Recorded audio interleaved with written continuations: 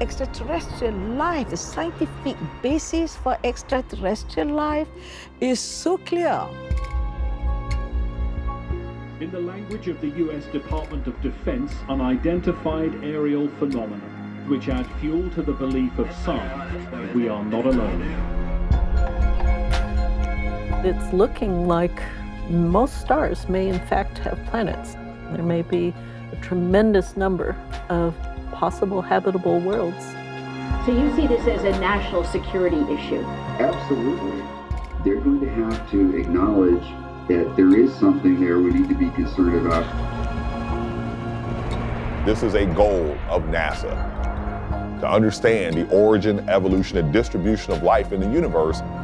It's very important that the facts are heard and fully understood, and that this body is able to take the appropriate decisions.